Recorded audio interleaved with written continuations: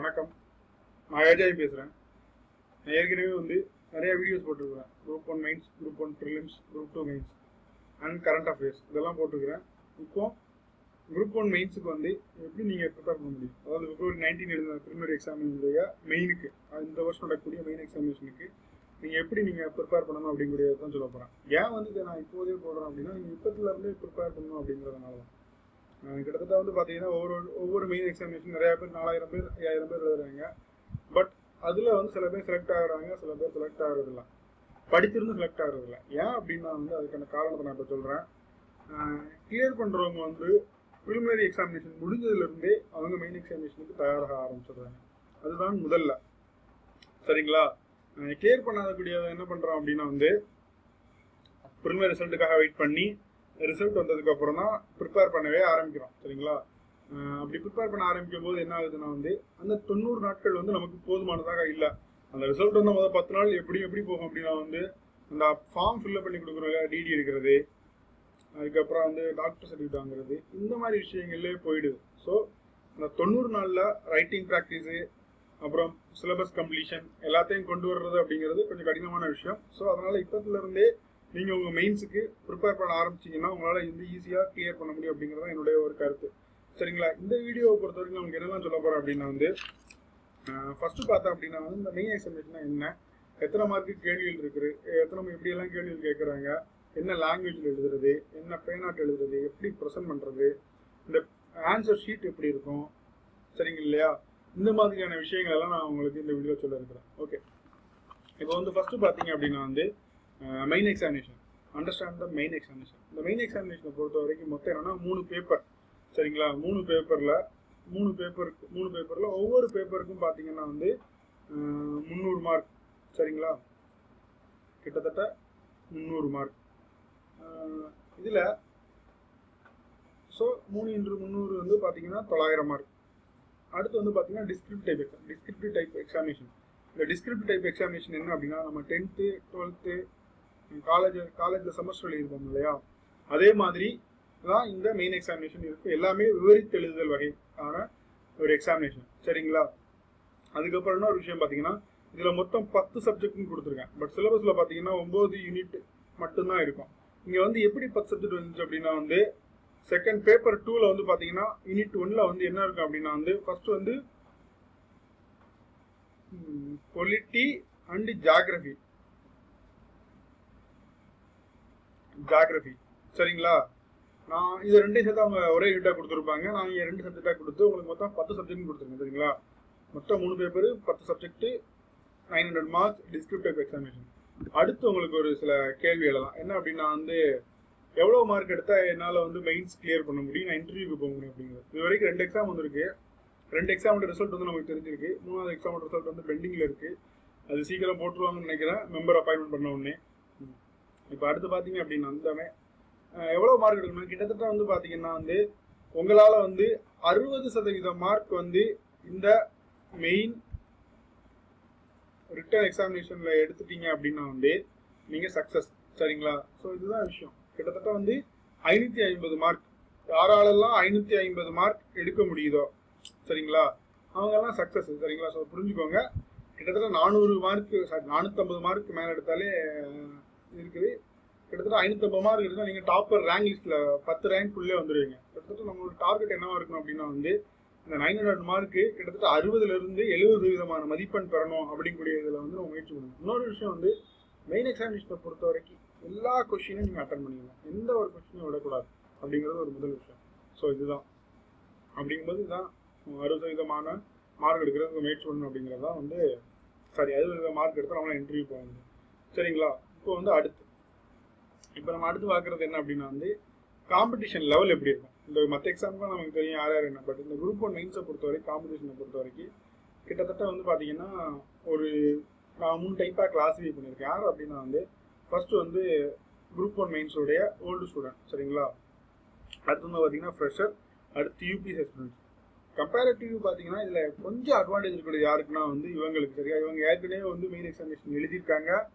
Pattern எப்படி இருக்கும் எப்படி ரைட்டிங் ப்ராக்டிஸ் எடுக்கிறது என்னென்ன தவறுலாம் பண்ணும் அப்படிங்கிற விஷயம் வந்து இவங்களுக்கு தெரிஞ்சிருக்கும். ஸோ அதனால் கொஞ்சம் அட்வான்டேஜ் சரிங்களா? அடுத்து ஃப்ரெஷர் ஃப்ரெஷரை பொறுத்த வரைக்கும் நீங்கள் எல்லாமே உங்களுக்கு புதுசு. ஸோ அதனால் நீங்கள் வந்து பயப்பட தேவையில்ல. ஃப்ரெஷர்னா கிளியர் பண்ண முடியாது கிடையாது. ஃபஸ்ட்டு ஃபஸ்ட் ரவுண்டில் கிளியர் பண்ண நிறையா பேர் இருக்காங்க. நீங்கள் என்ன பண்ணுங்கன்னா நீங்கள் கிட்ட கேட்டிங்கன்னா அவங்க சில விஷயங்கள் சொல்லுவாங்க. என்ன பேப்பர் எப்படி இருக்கும் அப்படிங்கிற விஷயம். இந்த வீடியோவில் உங்களுக்கு நான் ரொம்ப தெளிவாக சொல்கிறேன் நீங்கள் என்னெல்லாம் பண்ணணும் என்னெல்லாம் பண்ணக்கூடாது அப்படிங்கிற விஷயம் சொல்லிடுறேன். உங்களுக்கு அதனால் வந்து ஒரு இது கிடையாது. நீங்கள் தாராளமாக வந்து நீங்களும் கிளியர் பண்ணலாம் அடுத்து வந்து பார்த்தீங்கன்னா யூபிஎஸ் ஸ்டூடெண்ட் யூபிஎஸ் ஸ்டூடெண்ட் அப்படிங்கிறது யார் அப்படின்னா வந்து already UPSC mains examination clear பண்ணிவிட்டு இன்டர்வியூ வரைக்கும் போயிட்டு இன்டர்வியூவில் கிளியர் பண்ணவங்க ஆல்ரெடி சிவில் சர்வீஸ் கிளியர் பண்ணிவிட்டு வேறு ஸ்டேட் சர்வீஸில் இருக்கக்கூடியவங்க வேறு சர்வீஸில் இருக்கக்கூடியவங்க திரும்பியும் ஸ்டேட்டில் வந்து நம்ம தமிழ்நாட்டிலே ஒர்க் பண்ண நினைக்கூடியவங்க இந்த விதமான மூணு பேர் எழுதுறாங்க. சரிங்களா? இப்போ யூபிஎஸ் ஸ்டூடெண்ட்டை பொறுத்த வரைக்கும்னா அவங்களுடைய வந்து இவங்க இவங்களுக்கு என்ன அட்வான்டேஜ்னா இவங்களுக்கு ஆல்ரெடி ரைட்டிங் ப்ராக்டிஸ் இருக்கும். பட் டிஎன்பிசிக்கு ஏற்ற மாதிரி இருக்குமா அப்படின்னா சொல்லிடணும் ஏன்னா வந்து இவங்க எழுதக்கூடியது எல்லாமே ஓரளவு கரண்ட் அஃபேர்ஸ் ரிலேட்டடாக தான் இருக்கும். சரிங்களா? பட் டிஎன்பிசியை பொறுத்த வரைக்கும் வந்து கரண்ட் அஃபேர்ஸ் அப்படிங்கிறது one part of the paper அவ்வளோதான் மற்றபடி எல்லா சப்ஜெக்ட்லையும் கரண்ட் அஃபேர்ஸ் லிங்க் பண்ணி கேட்குறாங்கன்னா கிடையாது. பட் யூபிஎஸ்சியை பொறுத்த வரைக்கும் எல்லாமே கரண்ட் அஃபேர்ஸோட லிங்க் பண்ணி தான் கேட்பாங்க. ஸோ அதனால் வந்து அதில் அட்வான்டேஜ் இருப்பாங்க டிஎன்பிசிக்கு வந்து கொஞ்சம் கொஞ்சம் வரணும். உள்ள சாரி டிஎன்பிசி பொறுத்த வரைக்கும் தான் இது ஃபேக்சுவல் ஓரியன்ட் எக்ஸாமினேஷன் இவங்க கரண்ட் அஃபேர்ஸ் ப்ளஸ் இந்த மாதிரி ஃபேக்சுவல் ஸ்ட்ராங்காக இருந்தால் மட்டும் அவங்க கிளியர் பண்ண முடியும். ஸோ உங்களுக்கு உங்களுக்கே தெரிஞ்சிருக்கும் எப்படி இந்த காம்படிஷன் இருக்கும் அப்படின்ட்டு.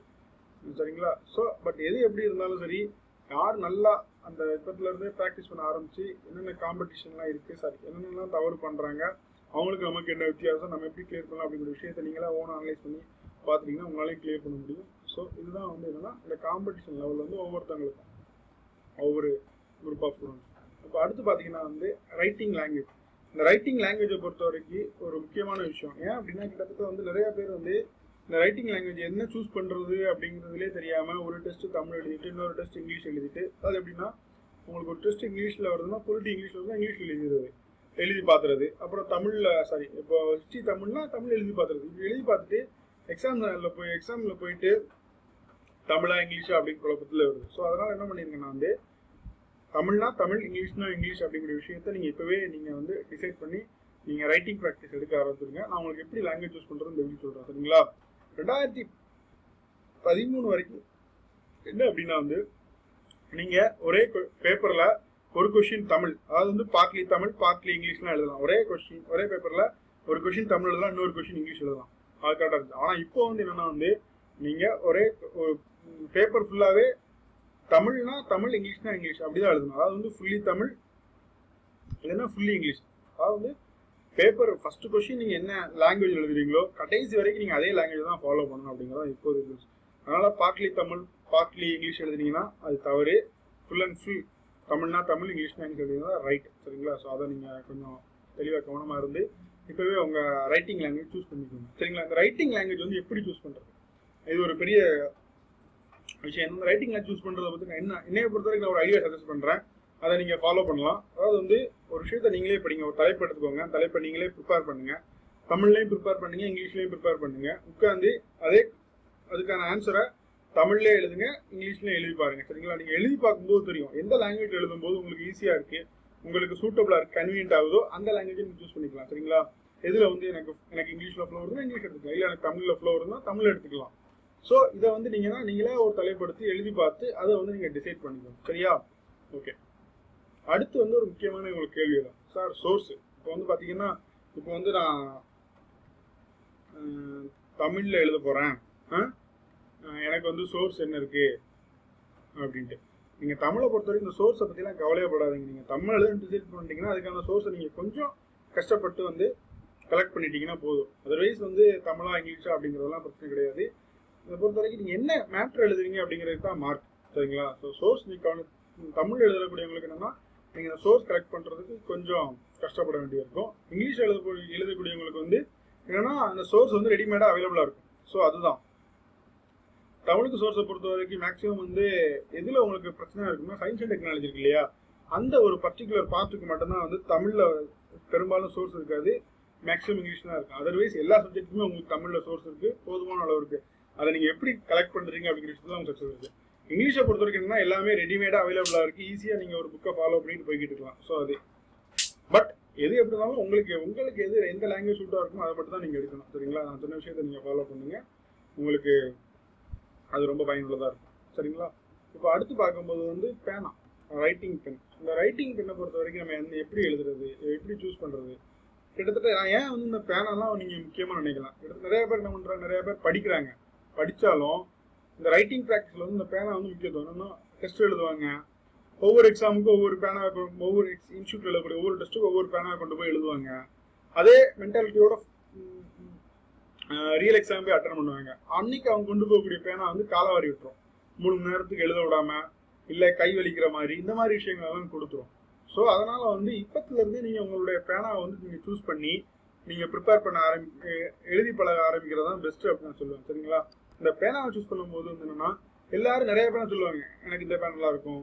எனக்கு இந்த பேன் நல்லா இருந்துச்சு. அப்படின்னு சொல்லுவாங்க. பட் உங்களுடைய ஹேண்ட் ரைட்டிங்க்கு உங்களுடைய ஹேண்டுக்கு எந்த பேனா வந்து சூட்டபுளாக இருக்கோ அதை நீங்கள் சூஸ் பண்ணுறது தான் பெஸ்ட்டு சரிங்களா பட் நான் இருந்தாலும் நான் உங்களுக்கு வந்து சில சஜஷன் சொல்கிறேன் என்ன அப்படின்னா வந்து ரெனால்ஸ் ட்ரைமேக்ஸ் ரெனால் ட்ரைமேக்ஸ் வந்து நிறைய பேர் மெயின்ஸ் எழுதுவாங்க நிறைய இந்த பணம் யூஸ் பண்ணியிருப்பீங்க. சரிங்களா? யூபிசியாக இருக்கட்டும் டிஎன்பிசியாக இருக்கட்டும். அடுத்து வந்து பார்த்தீங்கன்னா யூனிவால் அடுத்து வந்து பைலட்டில் வந்து வி ஃபைவ் வி செவன் இந்த ரெண்டுக்கு என்ன வித்தியாசம்னா இது வந்து பாயிண்ட் ஃபைவ் இது வந்து பாயிண்ட் செவன் அந்த டிப்பு சரிங்களா? கொஞ்சம் எழுத்து கொஞ்சம் பெருசு பெருசாக இருக்கும்.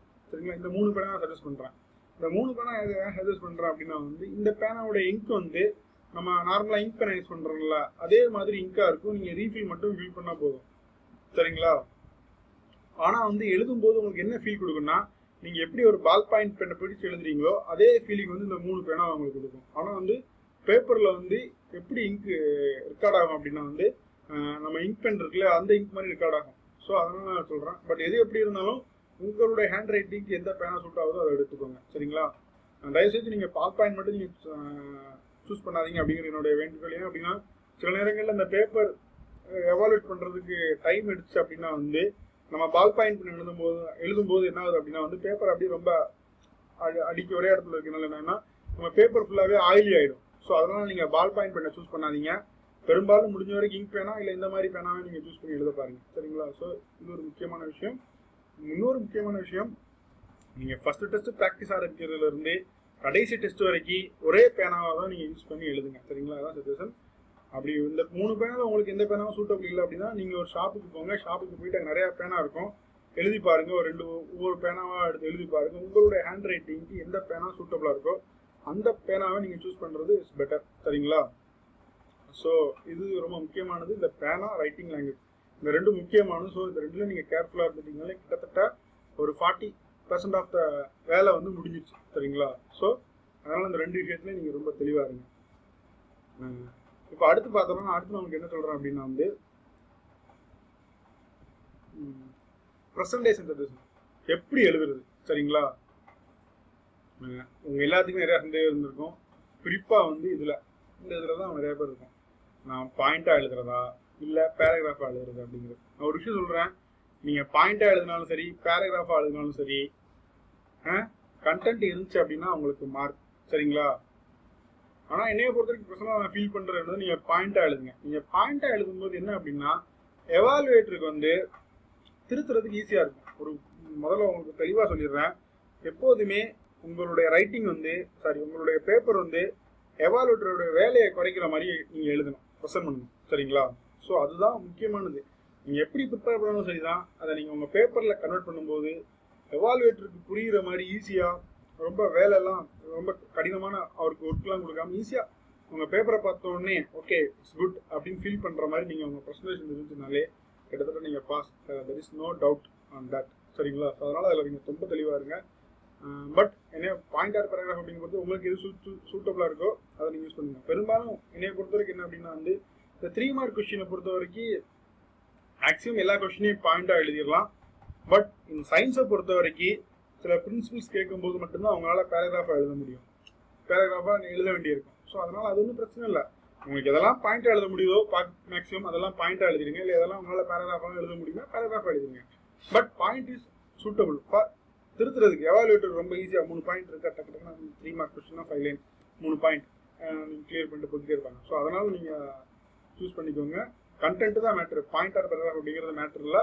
பட் பாயிண்ட் பாயிண்ட் இஸ் கொஞ்சம் பெட்டர் சரிங்களா? இது கொஞ்சம் பாயிண்ட் அப்படிங்கிறது கொஞ்சம் பெட்டர் அவ்வளோதான் மற்றபடி வருவாங்க அதுக்கப்புறம் சார் டெக்னிக்கல் வேர்ட்ஸ் வந்து நான் தமிழ் எழுது இங்கிலீஷ்லேயே எழுதலாமா? தமிழ் எழுதலாமா? அது ஒன்றும் பிரச்சனை இல்லை. நீங்கள் டெக்னிக்கல் வேர்ட்ஸை பொறுத்த வரைக்கும் என்னன்னா நீங்கள் ரொம்ப டிஃபிகல்ட்டான ஆடினா இங்கிலீஷ் எழுதுங்க. அது ஒன்றும் தவறே கிடையாது. நீங்கள் குறிப்பாக என்ன சொல்கிறது வச்சுக்கோங்களேன். இப்போ கிரயோஜெனிக் இருக்குது அப்படின்னா குளிர் பத அப்படிங்கிற மாதிரி வரும் தமிழில். ஆனால் வந்து நீங்கள் பார்த்தீங்கன்னா நியூஸ் பேப்பர்லேயே வந்து அது கிரயோஜெனிக் அப்படின்னு தான் வந்து யூஸ் பண்ணுறாங்க என்னது? கிரயோ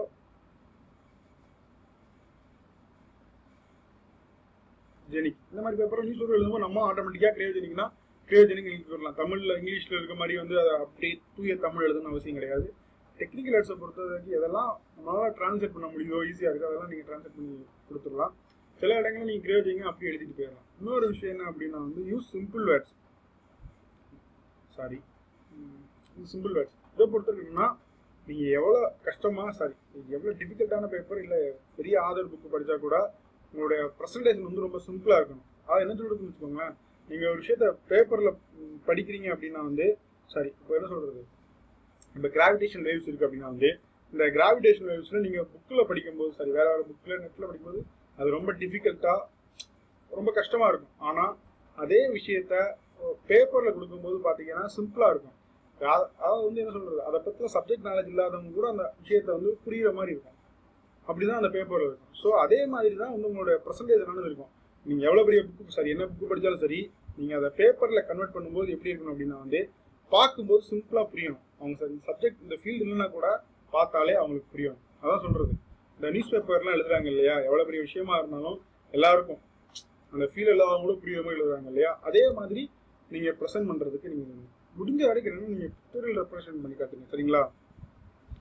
பிக்டோரியல் ரெப்ரசன்டேஷன் இது வந்து ரொம்ப ரொம்ப பெஸ்ட் மெத்தடுங்க நம்ம பேப்பரை டிஃபரன்ஷியேட் பண்ணி காட்டும். எல்லாருமே வந்து எழுதிட்டு போகும்போது நீங்கள் மட்டும் நம்ம மட்டும் வந்து பிக்டோரியலாக நம்ம பேப்பரை ரெப்ரசன்ட் பண் ரெப்ரசன்ட் பண்ணோம் அப்படின்னா வந்து பார்க்குறவங்களுக்கு ஒரு ஒரு நல்ல ஃபீல் இருக்கும். ஓகே இந்த பேப்பர் குட்டு டிஃப்ரெண்ட்டாக இருக்குது அதுக்கப்புறம் திருத்துறவங்களுக்கு ரொம்ப ஈஸி திரும்ப திரும்ப சொல்லக்கூடிய விஷயம் எப்போதுமே எவால்வேட்டருக்கு அதிகமாக வேலை கொடுக்காதீங்க. சிம்பிளாக நீங்கள் முடிக்க பாருங்க அப்படிங்கிறதான் வந்து என்னுடைய ஒரு சார் பிக்டோரியல்லாம் என்ன நீங்கள் சார்ட் போட்டு எழுதுறது சும்மா சும்மா பிரித்து பிரித்து பிரித்து பிரித்து எழுதுறது. இப்போ டேக்ஸ் டைப் ஆஃப் டேக்ஸ் அப்படின்னா ரெண்டு கேட்கலாம்னு வச்சுக்கோங்க. பிரிச்சுக்கோங்க டேக்ஸஸ் பிரிச்சுக்கோங்க. டைரக்ட்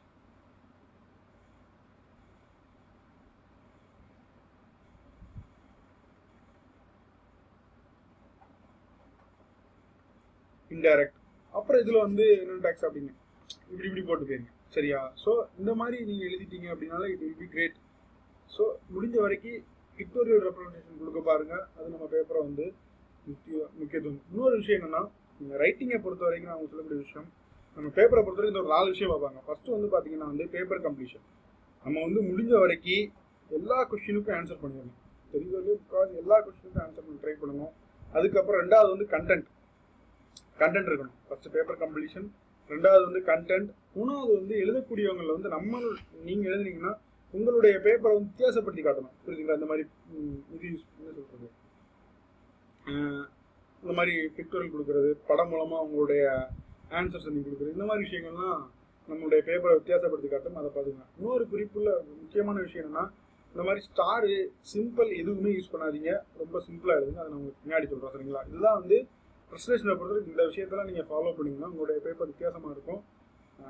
உங்களால் அதிகமான மார்க் ஸ்கோர் பண்ண முடியும் சரிங்களா? பட் இந்த விஷயங்கள்லாம் உங்களுக்கு எப்போ வரும் அப்படின்னா வந்து நீங்கள் ரைட்டிங் ப்ராக்டிஸ் பண்ண பண்ண தான் வரும். அதாவது ஒன்றும் இல்லை. இப்போ வந்து உங்களுக்கு ஒரு கொஷின் த்ரீ மார்க் கொஷின் எழுதுறதுக்கு ஒரு கேள்வி கேட்கு கேள்வி கேட்டிருக்காங்க. உங்களுக்கு ரைட்டிங் ப்ராக்டிஸே இல்லை அப்படின்னு வச்சுக்கோங்களேன். நீங்கள் த்ரீ மார்க் கொஷினுக்கு ஆறு ஏழு வரி எழுதி சாரி ஆறு அல்லது ஏழு வரை எழுதிட்டு இருக்கீங்க. ரைட்டிங் ப்ராக்டிஸ் இருக்கும்போது அந்த அஞ்சு வரியில் முடிக்க பார்ப்பீங்க. ஸோ இதுதான் அந்த வித்தியாசம். அதனால் ரைட்டிங் ப்ராக்டிஸ் உங்களுக்கு ரொம்ப ரொம்ப முக்கியம். அதனால் அதில் நல்லா கான்சன்ட்ரேட் பண்ணுங்க. சரிங்களா? ஸோ அடுத்து வந்து நம்ம நெக்ஸ்ட்டு பார்க்கலாம். சரிங்களா? அடுத்து பார்க்கும்போது ஸ்பெசிமன் ஆன்சர் ஷீட் இந்த ஆன்சர் ஷீட்டை பொறுத்த வரைக்கும் பார்த்தீங்கன்னா குரூப் ஒன் மெயின்ஸை பொறுத்த வரைக்கும் மொத்தம் உங்களுக்கு வந்து பார்த்தீங்கன்னா ஐம்பத்தெட்டு பக்கம் இருக்கும். சரிங்களா? ஃபிஃப்டி எயிட் பேஜஸ் இப்போ வந்து பார்த்தீங்கன்னா த்ரீ மார்க் அப்படின்னு வச்சுக்கோங்களேன் மூ ஃபைவ் லைன்ஸ் இருக்கும். சரிங்களா? எட்டு மார்க் கொஸ்டின் அப்படின்னா வந்து டூ பேஜஸ் பதினஞ்சு மார்க் கொஸ்டின் அப்படின்னா வந்து உங்களுக்கு எத்தனை பக்கம் இருக்கும் அப்படின்னா வந்து மூணு பக்கம் இருக்கும். சரிங்களா? மூணு பக்கம். இப்போ முப்பது மார்க் கொஸ்டின் அப்படின்னா வந்து ஆறு பக்கம் இருக்கும். ஸோ மொத்தம் ஐம்பத்தெட்டு பக்கம் இருக்கும். ஐம்பத்தெட்டு பக்கத்தில் மூணு மார்க் கொஸ்டின்னா அஞ்சு லைன் இருக்கும். எட்டு மார்க் கொஷினா ரெண்டு பேஜஸ் இருக்கும். பதினஞ்சு மார்க் கொஷினா த்ரீ பேஜஸ் இருக்கும். தேர்ட்டி மார்க் கொஷின் அப்படின்னா ஆறு பக்கம் இருக்கும். ஸோ இதுதான் வந்து இந்த ஆன்சர் ஷீட் அப்படிங்கிறது. உங்களுக்கு full and full answer sheet என்னன்னா வந்து பார்த்துருப்பீங்க இந்த மாதிரி கோடு போட்ட மாதிரி தான் இருக்கும். சரிங்களா? இப்போ மூணு மார்க் கொஷினா இந்த அஞ்சு லைன் இருக்கும். எட்டு மார்க் கொஷினா ரெண்டு பக்கத்துக்கு இந்த மாதிரி கோடு போட்டிருப்பாங்க. ஒரு பக்கத்துக்கு கிட்டத்தட்ட அதிகபட்சமாக பதினெட்டு லைன் இருக்குன்னு நினைக்கிறேன். சரிங்களா? பட் இருந்தாலும் உங்களுக்கு நான் எவாலுவேட் பண்ண பேப்பரை குரூப் டூ மெயின்ஸ்க்கான ஆக்சுவலி இந்த பேப்பர் வந்து குரூப் டூ மெயின்ஸ்க்கான பேப்பர் சரிங்களா? இந்த மாதிரி தான் அவங்களுக்கு அஞ்சு லைன் இருக்கும். இப்போ மூணு மார்க் கொஸ்டின் அப்படின்னா வந்து இதே மாதிரி வந்து பார்த்தீங்கன்னா அந்த அஞ்சு லைன் அப்படிங்கிறது உங்களுக்கு வந்து இருக்கும். சரிங்களா ஒன்று ரெண்டு மூணு நாலு அஞ்சு. இந்த அஞ்சு லைனுக்குள்ள தான் எழுதணும். இப்போ நீங்கள் மூணு மார்க் கொஸ்டினுக்கு ஆன்சர் எழுதுனீங்க அப்படின்னா நான் எப்படி எழுதணும் அப்படின்னு சொல்கிறேன் உங்களுக்கு சொல்கிறேன் ஒரு எக்ஸாம்பிளுக்கு எப்படி வந்து நீங்கள் எழுதணும்? இப்போ மூணு மார்க் கொஸ்டின் அப்படின்னா உங்களுக்கு எத்தனை வேர்ட்ஸ் அப்படின்னு வச்சுக்கோங்களேன். கிட்டத்தட்ட முப்பது வேர்ட்ஸ் பட் நீங்கள் முப்பது வார்த்தை எழுதாமல் இருபது வார்த்தையில நீங்கள் முடிக்க பார்க்கணும். அதுக்கு நான் ஒரு விஷயம் சொல்கிறேன் உங்களுடைய ஆன்சரை வந்து இந்த இடத்துல ஆரம்பிங்க. சரிங்களா? பாயிண்ட்ல எழுதும்போது. இங்கே ஆரம்பிச்சு இங்கே முடிங்க. சரிங்களா? ரெண்டாவது இங்கே ஆரம்பிச்சு இங்கே முடிக்கலாம். அடுத்து ரெண்டாவது பாயிண்ட் இதே இடத்து இதே இடத்துல இங்கேருந்து இங்கே ஆரம்பிங்க. இங்கே ஆரம்பிச்சு இங்கே முடிங்க. இங்கே ஆரம்பிச்சு இங்கே முடிங்க. இப்படிங்கும்போது எழுதும் எழுதும்போது இந்த இடமும் இந்த இடமும் காலியாக இருக்கும் ஆனால் வந்து பார்க்க பேப்பரை பார்க்கும்போது எப்படி இருக்கும் அப்படின்னா வந்து நீங்கள் ஸ்பேஸ் விடாத மாதிரி இருக்கும். இருபது வார்த்தையிலேயே நீங்கள் முடிச்ச மாதிரி இருக்கும். ஸோ அதனால் இந்த விஷயத்த ஃபாலோ பண்ணுங்க சரிங்களா? எல்லா விதமான இருக்கும் ஸோ இதுதான் இப்படி தான் உங்கள் பேப்பர் ஆன்சர் பேப்பர் சாரி உங்களுடைய பேப்பர் எல்லாமே இருக்கும். ஒரு இந்த பேப்பர் வந்து உங்கள் பேப்பர் வந்து இப்படி தான் இருக்கும். சரிங்களா? ஸோ இது ஒரு எவாலுவேட் பேப்பர் குரூப் டூ மெயின்ஸ்க்காக உள்ள சயின்ஸ் கொஸ்டினோட பேப்பர் சரிங்களா இப்படி தான் இருக்கும். அஞ்சு லைன் தான் இருக்கும். மூணு மார்க் கொஸ்டின் அந்த அஞ்சு லைன் இருக்கும்.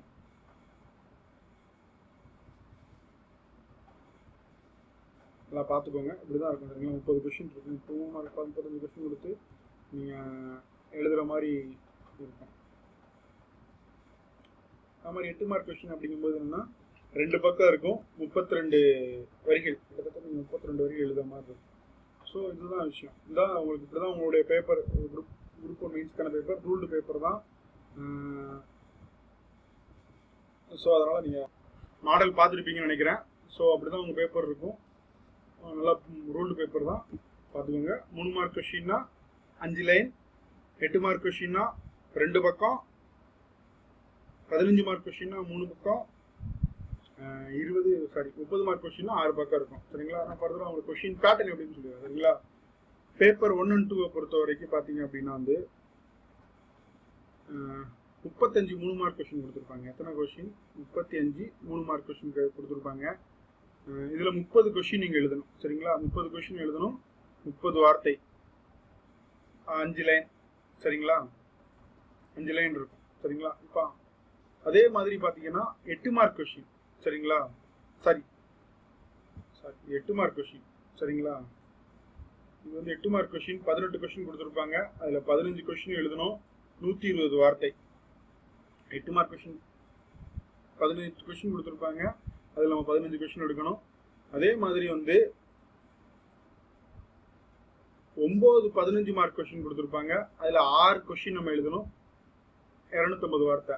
இதை பொறுத்த வரைக்கும் அஞ்சு லைன் நல்லா பார்த்துக்கோங்க. சரியா? அஞ்சு லைன் இதுக்கு ரெண்டு பக்கம்.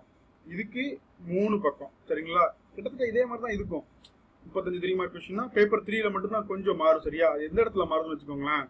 இந்த ரெண்டு இடத்துலயே மாறும். இதுல வந்து பதினஞ்சு மார்க் கொஸ்டின் மூணு கொடுத்துட்டு ரெண்டு எழுதணும். சரிங்களா? மிச்சம் உள்ளது எஸ்ஏ மாதிரி கொண்டு வந்திருக்காங்க. கிட்டத்தட்ட முப்பது மார்க் கொஸ்டின் வந்து ரெண்டு கொஸ்டின் எழுதணும். ஆனால் நாலு கொஸ்டின் கொடுத்துருப்பாங்க. சரியா? இதுக்கு வந்து பார்த்தீங்க அப்படின்னா வந்து ஆறு பக்கம் எழுதணும். எத்தனை பக்கம்? ஆறு பக்கம். ஸோ நல்லா தெரிஞ்சு நல்லா பார்த்துருப்பீங்க நினைக்கிறேன் இந்த இதில். இது ரொம்ப கவனமாக திரும்ப திரும்ப பார்த்துக்கோங்க. முப்பத்தஞ்சு முப்பத்தஞ்சுக்கு மூணு மார்க் கொஷின் கொடுத்துருப்பாங்க முப்பது கொஸ்டின் எழுதணும். பதினெட்டு எட்டு மார்க் கொஷின் கொடுத்துருப்பாங்க. பதினஞ்சு கொஸ்டின் எழுதணும். ஒம்பது பதினஞ்சு மார்க் கொஷின் கொடுத்துருப்பாங்க ஆறு கொஷின் கொடுத்துருக்காங்க எழுதணும்.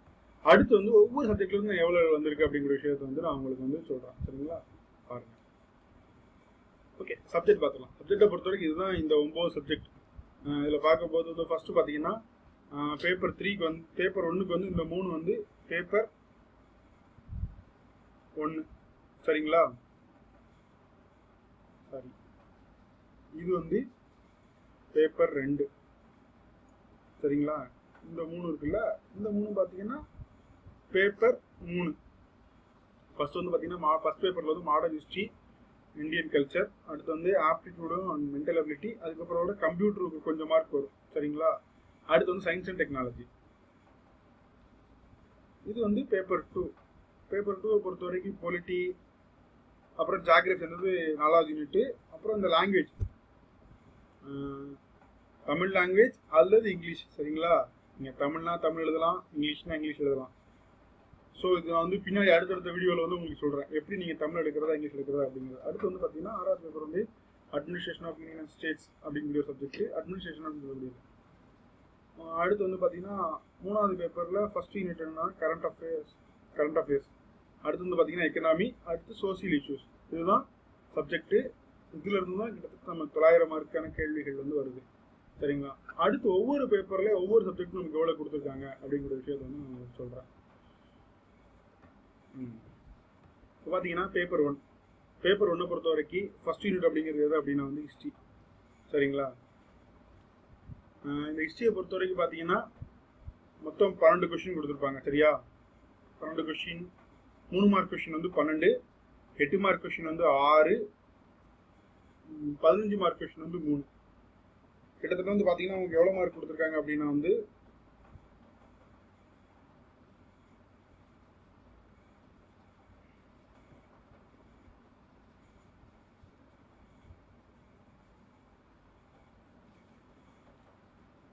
இதிலிருந்து மட்டும் உங்களுக்கு நூற்றி இருபத்தொம்போது மார்க் வந்து கொஷின் கொடுத்துருக்காங்க. எத்தனை மார்க்கு நூற்றி சாரி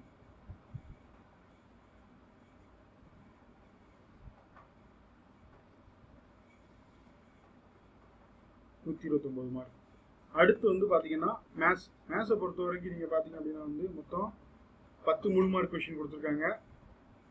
எட்டு அஞ்சு மார்க் கொஷின் அடுத்து ரெண்டு பதினஞ்சு மார்க் கொஸ்டின் சரிங்களா? கிட்டத்தட்ட இருந்து உங்களுக்கு எத்தனை மார்க்னா நூறு மார்க் சரிங்களா? அப்போ சயின்ஸ் அண்ட் பொறுத்த வரைக்கும் பார்த்தீங்கன்னா பதிமூணு மூணு மார்க் கொஸ்டின் ஏழு எட்டு மார்க் கொஸ்டின் நாலு பதினஞ்சு மார்க் கொஸ்டின் கிட்டத்தட்ட உங்களுக்கு இதில் எத்தனை மார்க் கொடுத்துருக்காங்கன்னு வச்சுக்கோங்க. நூற்றி ஐம்பத்தஞ்சு மார்க் உங்களுக்கு கொடுத்துருக்காங்க. எவ்வளவு? நூற்றி எண்பத்தி அஞ்சு. சரிங்களா? இப்போ ஃபஸ்ட் பேப்பர் ஒன்றில் பார்த்தீங்கன்னா கிட்டத்தட்ட உங்களுக்கு எத்தனை பர்சன்டேஜ்னு பார்த்தீங்கன்னு வச்சுக்கோங்களேன். சயின்ஸ் அண்ட் டெக் வந்து கிட்டத்தட்ட நாற்பது சதவீதமான மார்க் வந்து எதில் வருது அப்படின்னு வச்சுக்கோங்க. சயின்ஸ் அண்ட் டெக் நாற்பது. இதில் வந்து நாற்பது பர்சன்டேஜ் மார்க் சரியா? மேத்ஸை பொறுத்த வரைக்கும் எவ்வளோ கொடுத்துருக்காங்க அப்படின்னா வந்து டுவெண்ட்டி சிக்ஸ் பர்சன்ட் மார்க் வந்து மேத்ஸில் வருது. ஹிஸ்ட்ரியை பொறுத்த வரைக்கும் பார்த்தீங்கன்னா முப்பத்தி சாரி ஹிஸ்ட்ரியை பொறுத்த வரைக்கும் பார்த்தீங்கன்னா முப்பத்தி நாலு பர்சன்டேஜ் வருது. ஹிஸ்ட்ரியில் வந்து முப்பத்தி நாலு சதவீத மார்க் ஹிஸ்ட்ரி வந்து கேட்குறாங்க டிஸ்ட்ரிபியூஷன் வந்து நான் ஏன் சொல்கிறேன் அப்படின்னா வந்து நீங்கள் எந்த சப்ஜெக்ட்டுக்கு எவ்வளோ முக்கியத்துவம் கொடுக்கணும் அப்படிங்கிறது. சில பேர் சயின்ஸ் அண்ட் டெக்கில் மேக்ஸில் வீக்காக இருந்தீங்கன்னா சயின்ஸ் அண்ட் டெக் ஹிஸ்ட்ரி பார்த்துக்கோங்க. சயின்ஸ் அண்ட் டெக்கில் வீக்காக இருக்கக்கூடியவங்க மேத்ஸையும் ஹிஸ்ட்ரியும் பார்த்துக்கோங்க. ஹிஸ்ட்ரியில் வீக்காக இருக்கக்கூடியவங்க மேத்ஸ் அண்ட் சயின்ஸ் அண்ட் டெக்கையும் பார்த்துக்கோங்க. எப்படி மேனேஜ் பண்ணுறதுக்காக எதுலேருந்து எவ்வளோ எவ்வளோ கொஷின் இருந்து கொடுத்துருக்கேன். அப்போ நீங்கள் எந்த சப்ஜெக்ட்டில் எதில் வீக்காக இருந்தீங்கன்னா எதில் நீங்கள் ஸ்ட்ராங் பண்ணணும் அப்படிங்கிற விஷயத்த பார்க்கறதுக்கானே வந்து யூஸ் பண்ணுறேன் அடுத்து வந்து பார்க்கலாம் பேப்பர் டூவில் சரிங்களா?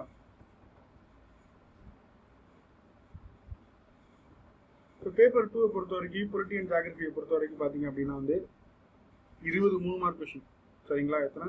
இருபது மூணு மார்க் கொஷின் எட்டு பத்து மார்க் கொஷின் பதினஞ்சு நாலு மார்க் கொஷின் அப்புறம் லாங்குவேஜ் லாங்குவேஜ் அப்படிங்கிறது இங்கிலீஷ் அல்லது தமிழ். சரிங்களா? இதில் வந்து மூணு ஏழு மார்க் கொஷின் கொடுத்துருக்காங்க. எட்டு மூணு மார்க் கொஷின் பதினஞ்சு ரெண்டு பதினஞ்சு மார்க் கொஷின் அட்மினை பொறுத்த வரைக்கும் எட்டு மூணு மார்க் கொஷின் அஞ்சு எட்டு மார்க் கொஷின் மூணு பதினஞ்சு மார்க் கொஷின் இதில் நீங்கள் வந்து மொத்தம் எத்தனை கொஷின் ஆறு ஆறு கொஷின் எழுத வேண்டியிருக்கு. ஸோ அது தெளிவாக பார்த்துக்கோங்க. அப்போ வந்து இதில் நீங்கள் இந்த செகண்ட் பேப்பரை பொறுத்த வரைக்கும் இதில் நீங்கள் அதிகமாக கான்சன்ட்ரேட் பண்ணணும் அப்படின்னா வந்து பொலிட்டி பொலிட்டி அண்ட் ஜாகிரபி இதுலேருந்து கிட்டத்தட்ட இரநூறு மார்க்குக்கு இதிலிருந்து மட்டுமே வருது. சரியா?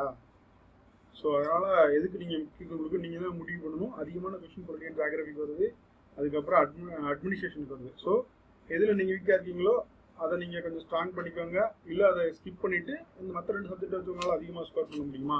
அப்படிங்கிற விஷயத்த பார்த்துக்கோங்க. அடுத்து வந்து நான் உங்களுக்கு சொல்கிறேன் என்ன சப்ஜெக்ட்டு எவ்வளோ இருக்குது இப்போ அடுத்து பார்க்கும்போது பேப்பர் த்ரீ பேப்பர் த்ரீயை பொறுத்த வரைக்கும் பார்த்தீங்க அப்படின்னா வந்து மூணு மூணு மார்க் கொஷின் பன்னெண்டு எட்டு மார்க் கொஷின் ஏழு பதினஞ்சு மார்க் கொஷின் ஒன்று சரியா? அதுக்கப்புறம் எக்கனாமியை பொறுத்த வரைக்கும் பத்து மூணு மார்க் கொஷின் அஞ்சு எட்டு மார்க் கொஷின் ஒரு பதினஞ்சு மார்க் கொஷின் சோசியல் இஷ்யூஸை பொறுத்த வரைக்கும் பதிமூணு மூணு மார்க் கொஷின் ஆறு எட்டு மார்க் கொஷின் ஒரு பதினஞ்சு மார்க் கொஷின் ஸோ அப்போ வந்து நீங்கள் பார்த்தீங்க அப்படின்னா வந்து எதுக்கெல்லாம் நீங்கள் முக்கியத்துவம் கொடுத்தீங்க அப்படின்னா வந்து நம்மளால் அதிகமாக ஸ்கோர் பண்ண முடியும். எதுக்கு சோர்ஸ் இருக்குது அந்த மாதிரி விஷயத்த பிளான் பண்ணுறதுக்கு இந்த கொஷின் டிஸ்ட்ரிபியூஷன் ரொம்ப பயனுள்ளதாக இருக்கும். சரிங்களா? அடுத்து வந்து பார்த்தீங்கன்னா இதில் அடுத்து வந்து ரெண்டு எஸ்ஏ ரெண்டு இன்று முப்பது. ஸோ அதுதான் இதுதான் வந்து பார்த்தீங்க அப்படின்னா வந்து இந்த கொஷின் பேப்பர் டிஸ்ட்ரிபியூஷன் மேக்ஸிமம் உங்களுக்கு எல்லாமே சொல்லியிருப்பேன். இந்த இந்த இந்த வீடியோஸில் ஃபர்தராக உங்களுக்கு சந்தேகம் இருந்துச்சுன்னா என்கிட்ட நீங்கள் கேட்கலாம். சரிங்களா? இன்னொரு சொல்கிறேன் குரூப் ஒன் மீன்ஸை பொறுத்த வரைக்கும் ஃப்ரெஷராக ஆடுறவங்க எக்ஸ்பீரியன்ஸ் இருக்கவங்க அப்படிங்கிறதெல்லாம் கிடையாது. யார் ஹார்ட் அண்ட் ஸ்மார்ட் ஒர்க் பண்ணுறாங்களோ அவங்களால கிளியர் பண்ண முடியும். சரிங்களா? அதுக்கப்புறம் இன்னொரு விஷயம் நீங்கள் இப்பத்துலேருந்து நீங்கள் ப்ராக்டிஸ் பண்ண ஆரம்பிச்சிடணும். சரிங்களா? ஃபர்ஸ்ட் டெஸ்ட்லேருந்து லாஸ்ட் டெஸ்ட் வரைக்கும் சாரி இப்பத்துலேருந்து ரைட்டிங் ப்ராக்டிஸ் அப்படிங்கிறது வந்து டக்குன்னு த்ரீ மாதத்தில் பண்ண முடியாது. இப்பத்துலேருந்தே நீங்கள் ப்ராக்டிஸ் பண்ணால் மட்டும்தான் வந்து உங்களால் வந்து சக்ஸஸ் பண்ண முடியும். ஸோ அதனால் தெளிவாக இருங்க. என்ன லாங் மூணு விஷயம் சொல்கிறேன் என்ன லாங்குவேஜில் எழுதுறது என்ன பேனாட் எழுதுறது எப்படி எழுதுறது சரிங்களா? இந்த மாதிரி எல்லா விஷயங்களையும் ரொம்ப கவனமாக இருங்க. இந்த வீடியோ உங்களுக்கு ரொம்ப பயனுள்ளதாக இருந்திருக்கும்னு நம்புகிறேன் இது சந்தேகம் எது இருந்துச்சுன்னா என்கிட்ட கேட்கலாம். சரிங்களா? என்னோட சைட் ஐயாச்சான் டாட் காமில் கேட்கலாம். அதுக்கப்புறம் குரூப் ஒன் மீன்ஸை பொறுத்தவரைக்கும் இப்போதே கிளாஸ் கிளாஸ் அண்ட் டெஸ்ட் வச்சு அப்புறம் போஸ்டல் டெஸ்ட் இந்த மூணு தனி. மூணு விதமான இது இருக்குது நீங்கள் என்ன ஜாயின் பண்ணுறதுக்குன்னா என்கிட்ட நீங்கள் காண்டாக்ட் பண்ணலாம் சரிங்களா?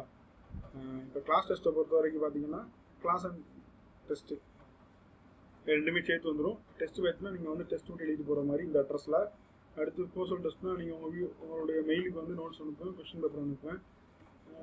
எனக்கு நீங்கள் ஆன்சர் எழுதி எனக்கு கொரியர் பண்ணணும். எவாலுவேட் பண்ணும்போது த்ரோ ஃபோனில் நான் ஃபீட்பேக் கொடுப்பேன். ரிட்டர்ன் உங்கள் பேப்பர் உங்களுக்கு கொரியர் பண்ணிடுவேன். சரிங்களா? எல்லாத்துக்குமே கம்ப்ளீட் நோட்ஸ் கொடுத்துருவேன். சரிங்களா? ஸோ அதுதான் விஷயம். மற்றபடி புக் லிஸ்ட்டு சில நோட்ஸு இது எல்லாமே என்னுடைய சைட்டில் ஐயாச்சாமி டாட் காம் அப்படிங்கக்கூடியதில் இருக்குது அந்த என்னுடைய சைட்டில் போய் நீங்கள் பார்த்தீங்க அப்படின்னா வந்து உங்களுக்கு வந்து பயனுள்ளதாக இருக்கும் அது. சரிங்களா? இந்த வெப்சைட் இந்த சைட்டில் போய் பா இதுதான் சைட்டு இங்கே போ